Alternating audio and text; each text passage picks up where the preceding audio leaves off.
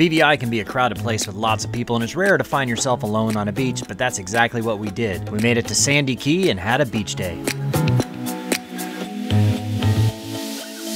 The swell was wrapping around the island and made it hard to land the dinghy, but we managed.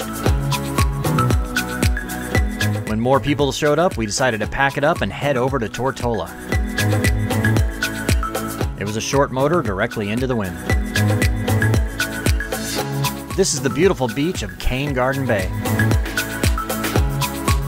For sunset, we headed ashore and saw one of the most beautiful sunsets I think I've ever seen. Be sure to click that subscribe button to watch this video in entirety in its long format.